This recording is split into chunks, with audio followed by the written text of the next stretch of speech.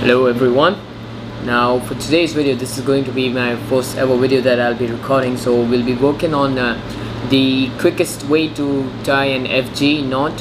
And in case uh, you do head out to a very windy field or somewhere where it's a bit difficult to you know tie an FG knot or you don't have enough time to tie an FG knot and miss out on the action uh, and we'll also be working on interchangeable uh, knots or interchangeable uh, trace and uh, interchangeable uh, leaders between trace and fluorocarbon.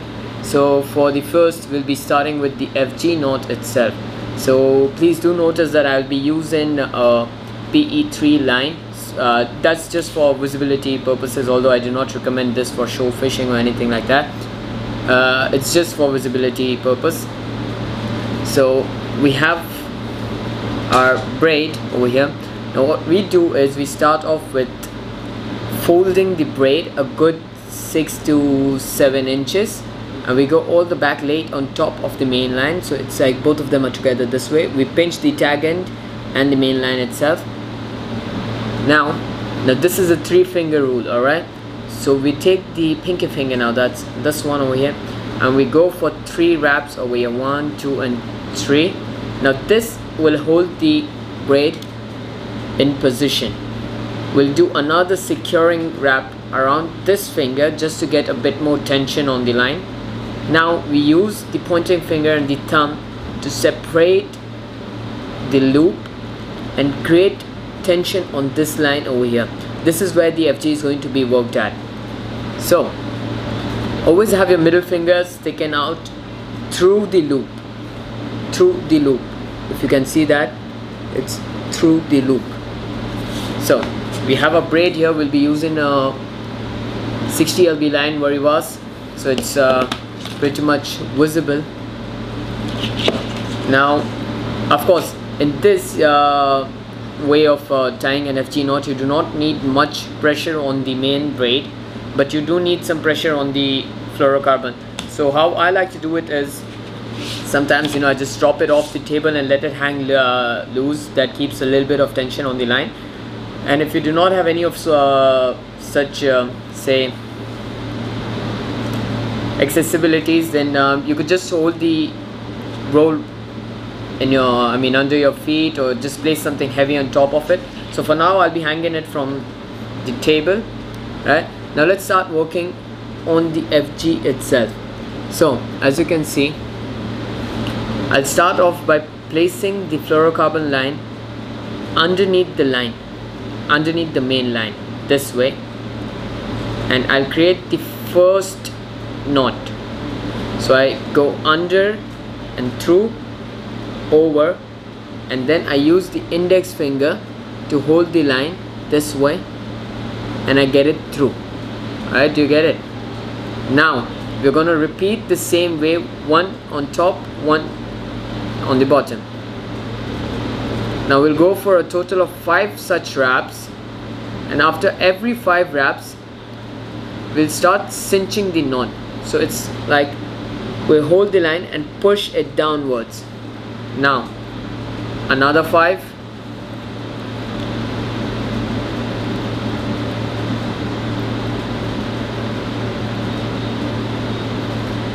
And push now we keep going like this till we have anywhere between 20 to 25 knots. Now I'll end it right here because this is just a demonstration video and this is strong enough to hold at least uh, a good sized shore fish right now but still. Now once you're done with getting all the knots through this is what your line should look like. So you get the fluorocarbon pinched between in your teeth and you hold the whole knot the FG knot. See? It's disappeared. It's gone. So it's right I've been I've pinched it with my fingers. Now we let go of the mainline braid right? Now we have the tag end over here and the main line on the bottom. So we go for four to six half hitch knots. Now what a half hitch is we'll be doing it we'll be doing the half hitch over the mainline braid and the fluorocarbon leader itself.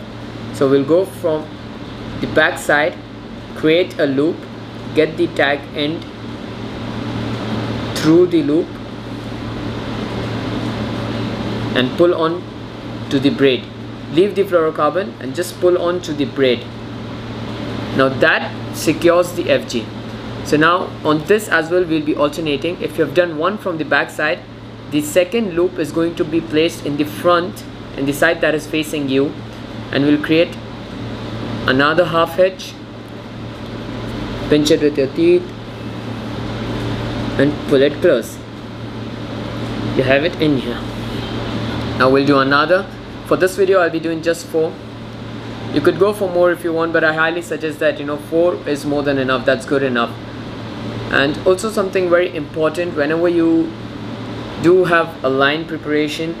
Always try to match the braid and the uh, leader by the weight by the weight capacity or the test. So let's say if you're using a 60 lb line it's good to go with a leader that is either 40 lb 50 or 60 lbs uh, i would go for a 50 lb leader tied to a 60 lb braid main line. Right so here we have our four half hitches now. This is the fourth one over here done. I guess I did. Anyways so to end this now to finish off the whole FG the FG is strong enough right now it won't slip. Now we'll be finishing it off with a Rizzuto knot.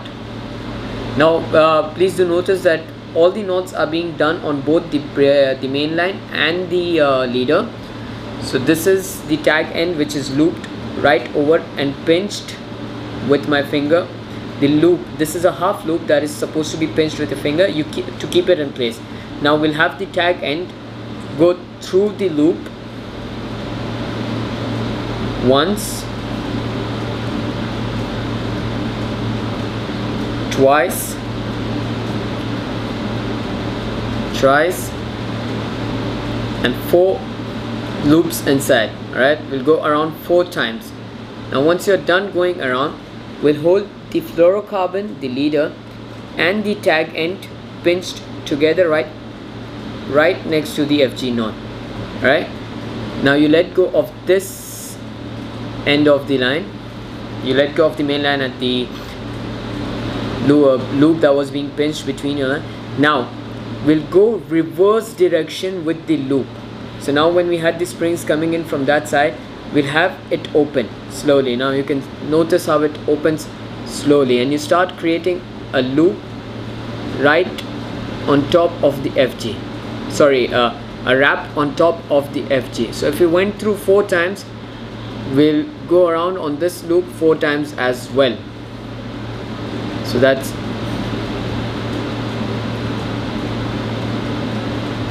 three. And that's four. Oh, Over there sorry. My bad. Now to close this we let loose the loop hold the tag end start pulling it in. And it cinches all the way inside. And it's a very smooth constant line see how beautifully that's done. Now the line's got enough strength to hold some good shocks and won't slip. Now something very important if the FG is done very well you'll always notice the line the main line will change color. It changes its color to a darker shade. Do you see that how you see the dark green over here whereas the original color of the line is completely different? Now this happens due to the friction that is caused now time to trim off the excess line the tag ends from the fluorocarbon and the main line. We'll start off with making a small slippage knot over here to prevent any uh, slips. So we'll just we'll just take the tag end. This is the tag end over here. To create a loop right? Go through it once and twice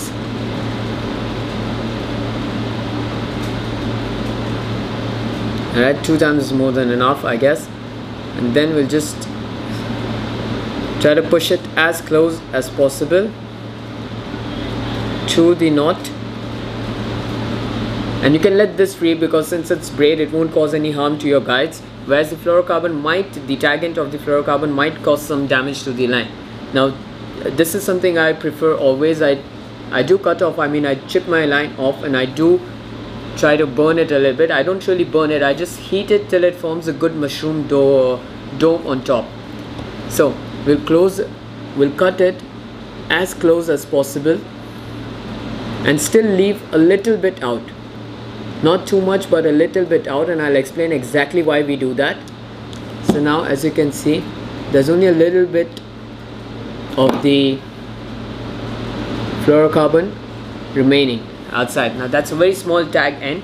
Now what we do is we do not exactly burn it but we heat it enough to form a dome a mushroom. I hope the camera can capture this. So we have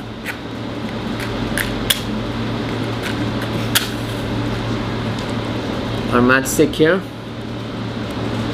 Alright now we don't really get it close to the fire. We, I mean very close to the fire but just close enough to have that dome formed.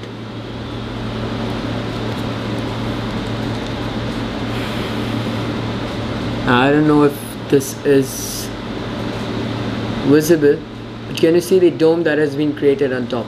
Now this dome will stop and prevent the line uh, the main line from slipping and uh, opening the knot. So you know that's the final result you have. I mean in case the fish is too aggressive and the fg does fail you'll still have this dome giving you the last remaining uh, little bit of strength to you know hold on to the knot.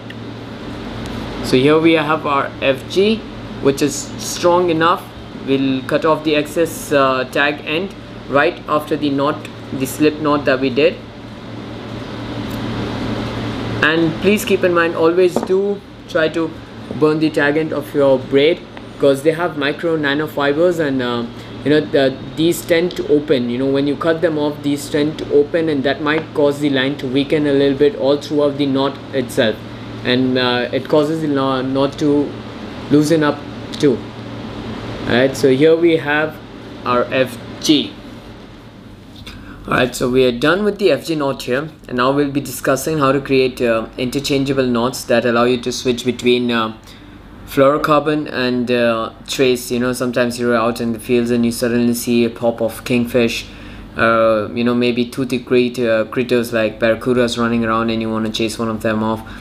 So you need a metal trace or steel wire trace. So we'll be talking about the interchangeable lure knot over here so it's pretty much simple and it doesn't involve uh, any complicated knots and stuff and this is a very uh, useful knot since you know at sometimes you're out there in the fields and uh, there's a lot of action going off going on and we have a lot of line breaks and line cuts and we want to get back into the action as fast as possible and tying a FG knot you know with the wind blowing and you know with the action going on you know it just uh, takes a bit of time. And to avoid that uh, what you could do is you could have um, pre-rigged lines like this one over here. Now I've uh, rigged it on a um, solid ring not a split ring. Now the reason I do not use a split ring is because uh, split rings do have uh, sharp edges and sharp ends and that might uh, fray the line or you know cause a break. So yes uh, solid rings are pre pretty much very smooth and they're easy to tie on and they have a lot of uh, room to you know allow the line to move around as well without uh, damaging it in any way. So yeah. Now now for the knot itself it works pretty much the same as how we did the FG knot. We take the line fold it get it back uh, get back laid over on the main line. Now what we do is we do the same thing again. We pinch the tag end of the line and the main line and uh, we just hold it like this and we, ma we make a loop right? And we go through and out of the loop twice. So this is the loop right here. Now we go through this loop once twice and you could go for three loops uh, as well it's fine. I mean you could go for anywhere between three uh, two to four loops. That's more than enough. And then you close the knot all the way in like that you cinch it all down pull the lines from both the ends together. Now what this does is it calls uh, it causes a lock knot over here. Now this uh, is not going to move. It's pretty much very stationary now and it won't slip or move anywhere. So you end up with this loop over here. Alright? Now how is this loop useful? Now let's say I was playing on a metal on a steel wire and suddenly I see something that's uh, going around and I need to scan the water use a jig so all I do is I bring out the fluorocarbon leader that I previously made alright? And then I just put it through this loop over here. So I have this loop with me alright? This loop over here. Now I pinch it and I get it through this split ring alright? And then once I get the loop through the split ring I get the wire through the loop and then just pull it all down together like this and you close it. Alright? Now how is this interchangeable? Because this is pretty much very locked and it's it's got a good uh, strength to hold on to. And once you plan on you know removing the line or going back home or packing the reel you know it actually works on a vast variety of uh, situations. So all you do is you reopen the loop from the end and get it. And then you pull the line out the same way you put it in through. And here you have them both separated and you could get back to using your steel wire or this trace. Thank you very much for watching this video and if you did find it very useful I mean this is my first time and of course I did make a uh, few mistakes but please I would request all of you to overlook those mistakes and uh, just look at the education part of uh, the video. Uh, do uh, provide me with your feedback comment on the video tell me what should I improve tell me anything that you feel is uh, worth the share and worth letting me know. Or whatever your emotions are fear reactions are to the video and any suggestions for future videos that I might try to help you out with. Of course I'll be making a lot uh, making a lot of uh, videos uh, related to knots lines uh, spooling your reel and then eventually get, getting out to the fields patterns how to jig how to work your lures and stuff. So I'll be going through a lot of things. This is the first video stuff so kindly do share this video if you find it interesting. Tag your friends to it. Uh, also drop some likes. Press the bell icon uh, so you get notified when I make the next video. Thank you very much